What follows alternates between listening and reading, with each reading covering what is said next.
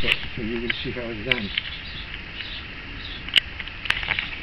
Actually, it's very easy. Once you do that, and Then you're not afraid anymore because And it's you're learning. Wow.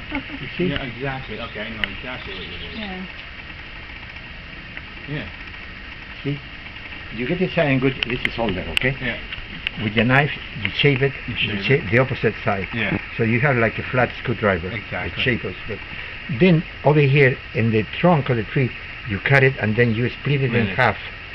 And once you split it in half, you know you you put it this one inserted in there, it. And the barks are. and and the bark Has to line because up sometimes the bark. the trunk is thicker and this is skinny. Yeah. So you put you it put it one side or the other. then? one side, only you worry one side. They be Okay. flat. Mhm. You kill it with your finger like that. It's flat. Once it's flat, okay, then you get the paraffin tape. This is the paraffin tape.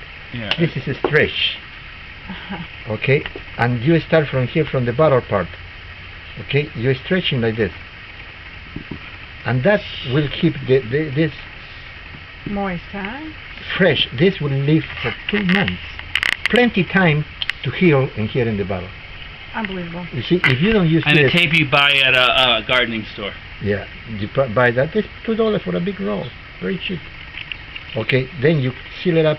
So automatically, You seal the top as well. yeah, the, the top too. So See, it's hermetically already sealed. fresh in the Yeah. inside. Then you get the, the green tape. The only thing does is like when you break your arm, Yeah. you know, they put the casting in there to put hold it. This is the only thing that that hold it together. Very tight. So you tie it very tight. So then don't move.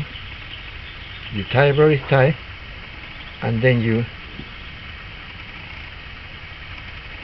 you tie it, and that's it. Okay, I'm gonna graft everything you have. I'm gonna do. Well, let me. I was just gonna kid But it around.